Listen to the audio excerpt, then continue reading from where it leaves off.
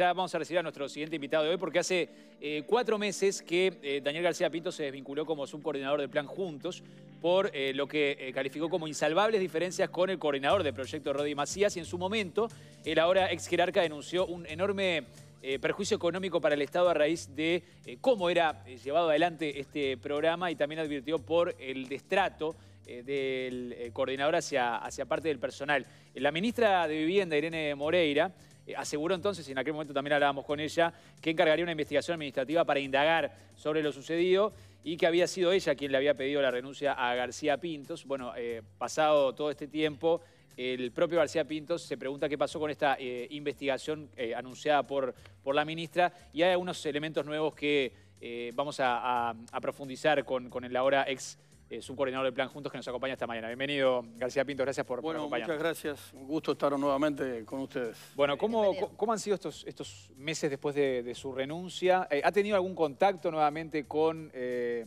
con, con, Irene Moreira, con las autoridades del Ministerio, en base a lo que usted había denunciado y lo que se, iba a, investigar supuestamente? No, no he tenido ningún contacto, pero sí he estado alerta a la espera de que me llamaran para darle darle andamiento a la denuncia que yo había hecho, porque mi renuncia fue una renuncia-denuncia, en donde yo ahí tocaba unos puntos importantes, algunos que tienen, digamos, perfil económico y otros que tienen perfil ético por el destrato hacia algunas personas que en algunos casos formaron parte porque ya no están en el plan juntos y algunas personas todavía están en, en la institución.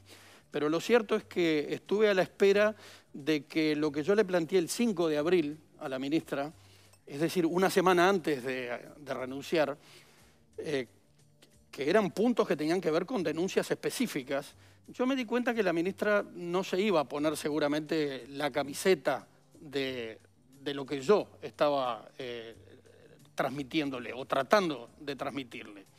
Entonces este, le pedí una investigación administrativa que era lo que correspondía. Y la ministra me dijo que ese no era el momento para hacer una investigación administrativa. Y me puso un ejemplo, porque Cabildo Abierto venía en ese momento de un problema con algunas renuncias, y yo le dije, pero ¿qué tiene que ver una cosa con la otra? Yo vengo a plantear cosas específicas que le están haciendo un daño enorme al plan Juntos, que es una idea buena, la idea primigenia del año 2010 de Mujica, fue una buena idea, Después, la administración que hizo Mujica del Plan Juntos es otra cosa que habría que discutirla aparte. Pero lo cierto es que se le estaba provocando un daño en este momento y en esta administración este, al, tema de, las viviendas. Porque acá lo importante son las viviendas a construirse en forma de soluciones habitacionales, que pueden ser viviendas desde, desde, los cimientos, pero también pueden ser canastas de materiales que han dado un resultado importante. Lamentablemente tampoco tuve mucho eco cuando planteé que era, era, era tanto o más importante invertir en las canastas de materiales porque la gente ponía su propia mano de obra y eso era recuperación social también para mucha gente que muchas veces la construcción desde los propios cimientos. Como me di cuenta de que no se iba a poner la camiseta de las denuncias mías, le pedí formalmente una investigación administrativa. Han pasado casi cuatro meses si ha habido algún movimiento puede ser de las últimas horas, pero hasta este momento no ha habido absolutamente nada de investigar. ¿Por qué? Porque no se quiere investigar. No hay voluntad de investigar las denuncias que yo hice, que son graves y son importantes. ¿Usted habla de ilegalidades en esas denuncias? Hablo de, que, hablo de mala administración para empezar. Fíjense, la noche de la nostalgia, que ahora va a ser eh, la semana que viene, ¿verdad? Pues hace un año en la noche de la nostalgia, hubo allí, eh, digamos, un, desvío de fondos que debieron haber sido para soluciones habitacionales y terminaron en el bolsillo de los trabajadores. Nada tengo que decir de los trabajadores que defienden, este, que defienden sus intereses, pero eh, hubo un dinero que no debió habérselo dado y eso es todo responsabilidad del coordinador, que sigue siendo el coordinador actualmente, porque no correspondía, porque la información y los consejos que recibió eran de que no correspondía dar ese dinero porque el plan no había incumplido absolutamente nada, que había habido un atraso de tres días nada más. Y eso le costó haberle pago un día a los trabajadores que significaron, más una multa del 10%, que tampoco correspondía, significaron entre 50 y 60 mil dólares aproximadamente. Que eso hubieran sido soluciones habitacionales para 10, entre 10, 12, 15 familias en forma de canastas de materiales. Y sin embargo tuvieron otro destino. Después, por ejemplo, hacer caso omiso a los consejos cuando venía eh, las vacaciones para los trabajadores de, la construcción, de que había una vivienda que iba a quedar abandonada a la buena de Dios y que había que poner vigilancia. Pues no le puso vigilancia, solo porque se le ocurrió no ponerle vigilancia, porque eh, el área de arquitectura le dijo, acá en esta zona, esta vivienda, si no se le pone vigilancia, va a ser vandalizada. Por supuesto, yo me enteré después de eso, si no yo hubiera intervenido antes pero es que a mí se me ocultaba información. Esa misma vivienda ya fue vandalizada cuatro veces. Ha superado los 20 mil dólares que ha tenido que pagar el plan Juntos para recuperarla en varias oportunidades. Y después, bueno, lo más grave de todo, ¿verdad? El destrato hacia determinadas personas, que para mí fue lo más doloroso, que fue una de las razones fundamentales por las que yo renuncié al plan Juntos, y que, bueno, yo estuve esperando en su momento, a ver, que el Instituto de la Mujer, que Beatriz Argimón, que los colectivos feministas, que el Ministerio de Trabajo, que la DINATRA, eh, que alguna fiscalía interviniera en el tema.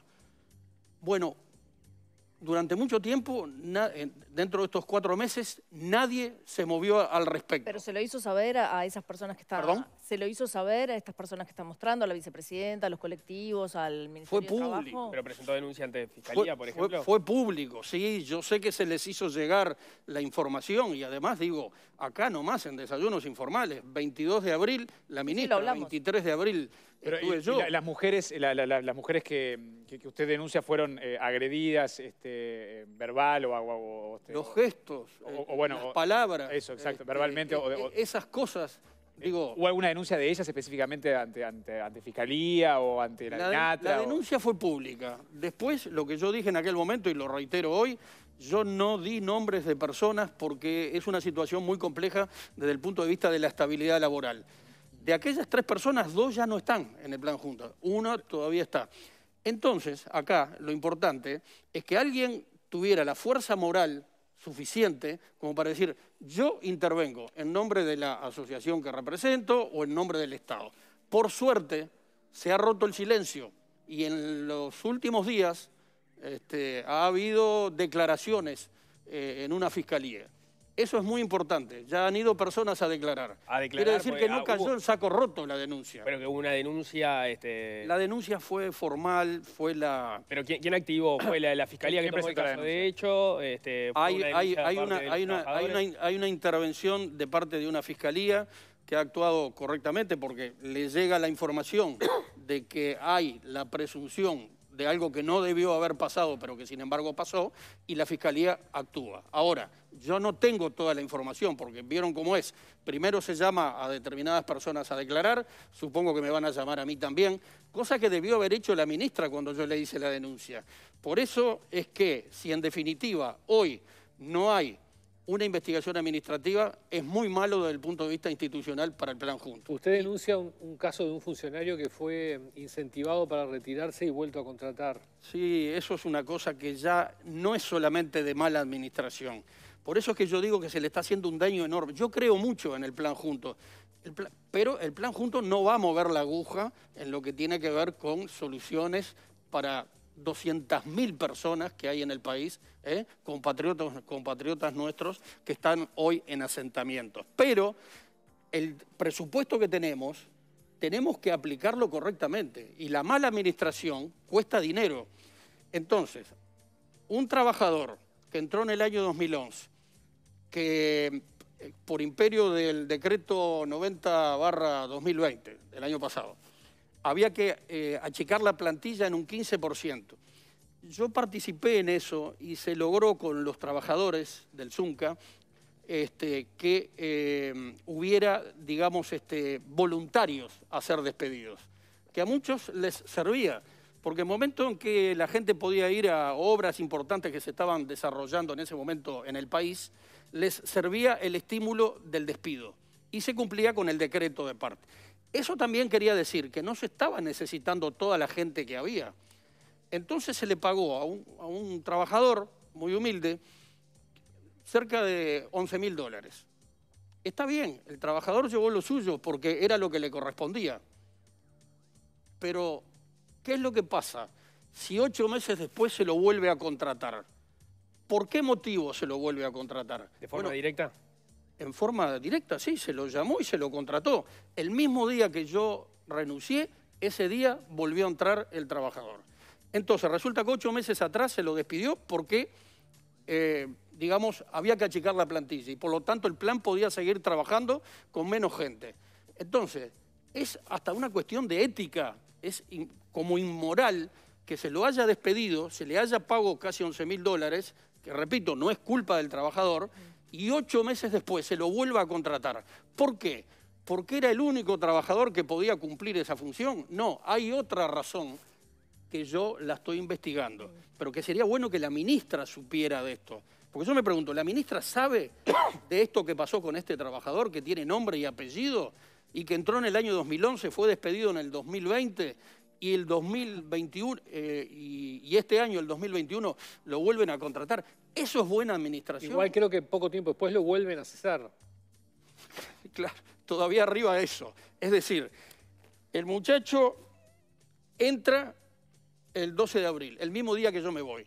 Cuando se dieron cuenta que yo estaba renunciando y estaba realizando una denuncia importante en muchos puntos, dijeron, García Pinto está haciendo denuncia, eh, no podemos hacer entrar a este hombre. Y me ha llegado, yo no tengo pruebas físicas, pero me ha llegado la información de que se le dijo, mirá, hay un problema, renuncia, después vemos qué hacemos contigo. Es una información que yo recojo en los barrios, ¿verdad? ¿Saben una cosa? El hombre no debe haber querido renunciar, porque si pidió para entrar de vuelta es porque tenía la necesidad de tener un ingreso, de tener un trabajo. Y entonces cuando lo iban a despedir, eh, le pisó los talones el COVID-19, estuvo en cuarentena 15 días, estuvo con COVID, y cuando se le terminó la cuarentena, lo despidieron. ¿Y ahí hubo indemnización de nuevo? No, porque estaba dentro de los primeros tres meses. Eh, Pero eso es inmoral le quiero consultar a usted, ah, con todo este raconto de, hechos que hace sobre la ministra, la falta de investigación, me imagino que considera que no tiene una buena gestión en, el, ministerio.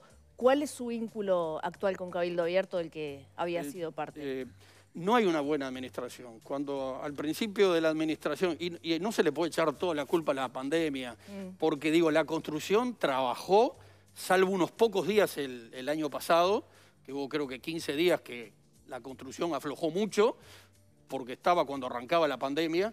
Después trabajó siempre, estoy hablando del plan junto, ¿verdad? Yo iba a los barrios y los trabajadores con la mascarilla, con el casco, con el calzado de seguridad, siempre, siempre laburando. Este, no se le puede echar la culpa a la pandemia. Lo que hay es una mala administración. No se puede hablar a principios de, este, de este gobierno de, no sé de cuánto fue que habló la ministra, 50, 60 mil viviendas, para después bajar... ¿Eh? El déficit de viviendas es de 70 mil, en determinado momento ya había manejado la, cifra de 50 mil. Ahí está. Y después empieza a bajar y de 70 se pasó a, 60, de 60 a 50 y después se siguió bajando. ¿Qué piensa, ¿Qué piensa de este nuevo plan anunciado de, construcción de viviendas de madera en la? Pienso, que, pienso que eso eh, puede ser algo bueno, pero no va a ser tampoco la, solución, porque hay gente que no quiere vivir este, o no quiere construir con madera. Nosotros no tenemos madera dura acá en el país, no tenemos curupay, no tenemos lapacho, este, a la madera hay que tratarla porque de lo contrario la agarra la polilla. Igual que a la política la agarra la polilla, a la madera también, ¿verdad? Por, eso le vuelvo a la ¿Cuál es la polilla del plan Juntos? la polilla del plan Juntos es la mala administración. ¿Pero por qué? ¿Porque hay negligencia? Porque se administra mal. ¿Es clientelístico? Porque se administra mal, porque ha habido una suerte de vaciamiento institucional. Se ha prescindido de una cantidad importante de gente que tenía mucho conocimiento este, de cómo funcionaba el plan Juntos. Este, y además con una persona eh, que por, porque, porque tiene ese cargo, que es el coordinador, puede hacer lo que quiere. Por ejemplo, destratar en los gestos y en las palabras, y de esto hay testigos, por eso ahora viene la Fiscalía pisándole los talones a todo este tema, ¿verdad? Entonces, eso, esa mala administración de los recursos económicos, la mala administración para con el personal, y, en definitiva, eh, por más que tengas presupuesto, que tampoco el presupuesto es como para arreglar el problema de todos los asentamientos, lo del plan junto es muy chiquito frente a, todo el problema de las 200.000 personas. ¿Y tu pregunta? Mi pregunta era, usted eh, está en contra de la administración, de Irene Moreira, integrante de Cabildo Abierto. ¿Cuál es su vínculo actual con Cabildo, con ¿Cuál es, perdón? Su vínculo con Cabildo ah, Abierto. ¿Sigue siendo parte de Cabildo Abierto? Bueno, muy bien. Eh, yo ya no me considero este, en Cabildo Abierto. Yo nunca formé parte de, eh, digamos, Orgánica. de la directiva de mm. Cabildo Abierto. Yo fue después de las elecciones internas que me acerqué para dar una mano por disconformidades que yo tenía dentro del, Partido Colorado, fundamentalmente por, por, el resultado de Talvi, que se había quedado como líder del partido. Entonces di ese paso. ¿Se había ido muy ese paso para dar una mano. ¿Se había ido muy a la izquierda del partido? ¿Cómo? ¿Se había ido muy a la izquierda del partido? bueno, te voy a decir una cosa.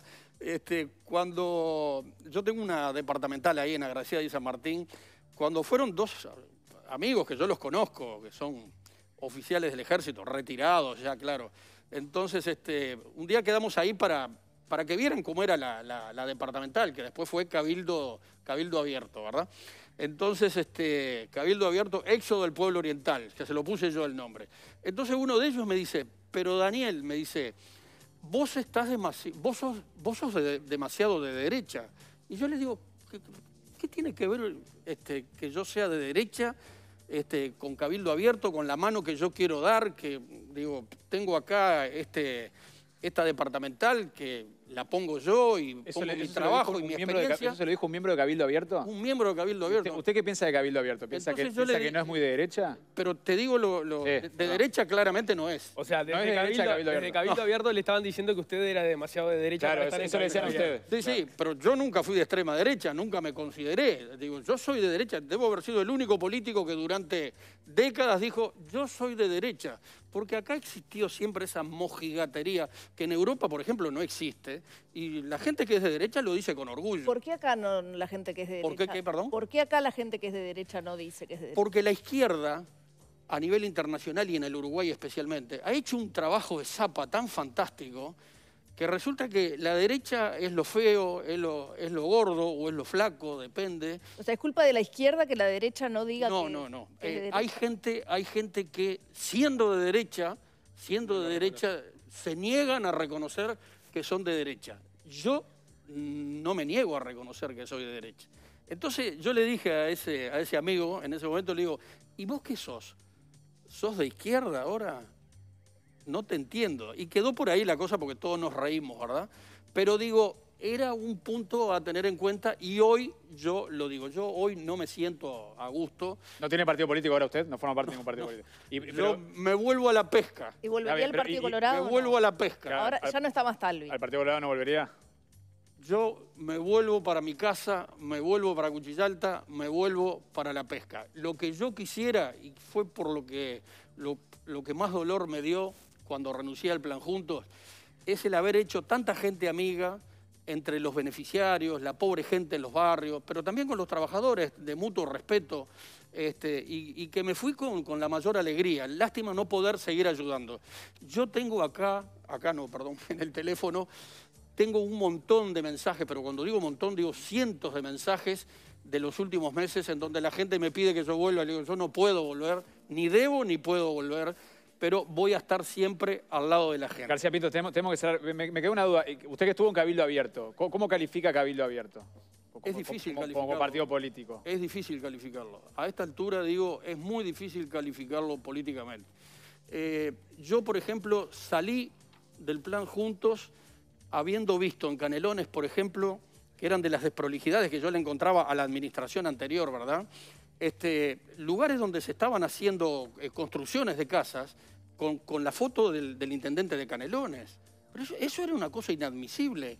Ir a barrios como Talca, en Las Piedras, o el barrio Obelisco, y ver eh, la construcción de casas o las heladeras llenas de eh, imanes de heladera con la cara de Mujica o con la cara de, de, Orsi. Entonces yo decía, pero estoy trabajando para el MPP, yo, justamente yo, trabajando para el MPP. Entonces trataba de corregir las cosas, decir, esto no puede ser, esas cosas hay que sacarlas. Pero, ¿Y por qué no puede ser si la, si la gente que, vive ahí tiene una orientación política? no, no, no, el tema es cómo se hizo el relevamiento social. Uno debería pensar que que en el plan Juntos, como pasa en otras áreas de la vivienda pública, que fuera por sorteo, para que no hubiera la, siquiera la posibilidad de que hubiera un enganche ideológico entre yo te construyo la casa porque sé que vos pensás como yo y por lo tanto te la doy a vos y no se la doy a él que piensa distinto. Pero usted entonces habla de que el plan Juntos tiene un manejo... Tuvo. Discrecional. Eh, en, su momento, pero está claro, digo, fue un invento de Mujica el plan Juntos, que la, la idea primigenia fue buena, ¿eh? ¿Mm? fue una buena idea. Después vinieron desprolijidades. Pero bajo la administración de la ministra Moreira, ahí le pregunto. Ahora, ahora tiene un manejo discrecional en la actual administración. No, no, no, en ese sentido no. Pero yo lo que digo es que, a ver, digo lo siguiente, ¿qué hubiera pasado si Cabildo Abierto hubiera tenido un edil en Canelones?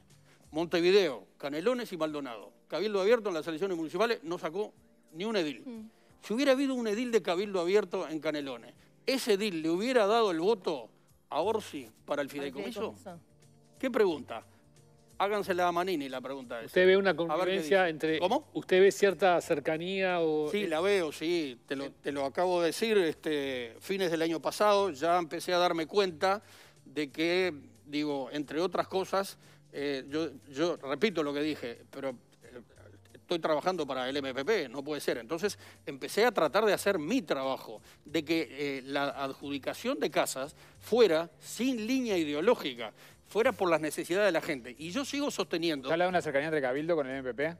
Para, decirlo con todas las letras. Este, bueno, a ver, está claro que Cabildo Abierto tiene este, la ministra ha hecho un convenio con Orsi en, un barrio cerca del aeropuerto. es el intendente de Canelones y la ministra de Vivienda, ¿no? ¿Cómo? Es el intendente de Canelones y la ministra de Vivienda. O sea, no, debería importar el partido político si es para correcto. El, la, el tema es cómo, porque yo vi eso y yo desde el primer momento fue en junio del año pasado que se empezó a hablar de eso. Y yo decía, está bien, porque hay que trabajar con todas las intendencias, que ponen tierras, que ponen esto, que ponen la parte técnica, y, el plan junto pone la plata y pone otras cosas. Digo, pero lo ideal es que haya un sorteo de la gente, porque si son 24 viviendas nada más, ¿alguien se puede pensar que en esa zona de Canelones hay solo 24 familias? Debe haber 300 familias. Entonces yo digo, juntémoslo, hagamos un sorteo de acuerdo a los que tienen necesidades y cumplen esta, digamos, cumplen, eh, eh, cumplen esos objetivos, y entonces vamos a sortear y se lo damos. ¿Y, que, ¿Y hoy cómo se elige la gente? ¿Hoy cómo se elige? No, hay que preguntarle a Orsi cómo eligió esas 24 familias. ¿De dónde salieron? ¿Usted no sabe? Yo no, yo no lo sé.